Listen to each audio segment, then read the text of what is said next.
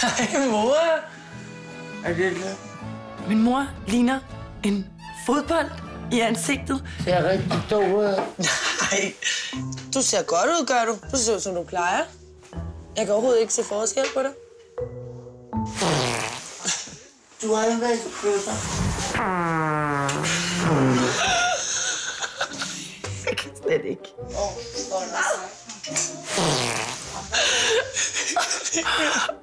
Og det er en flot en.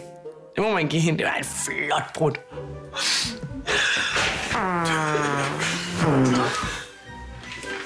Jeg synes, sygeplejersken tager det rigtig pænt. Meget professionelt.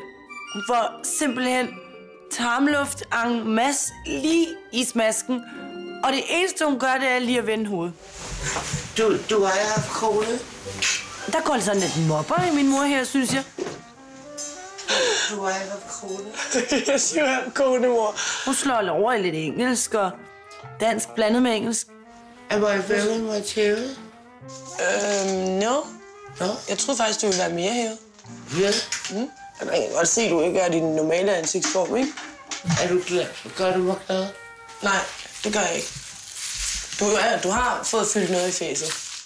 Kan man godt se. Det er noget af et luftskib af et hoved, hun nu render rundt med. Wow. Har du det godt? Har det en god har på? Jo, faktisk.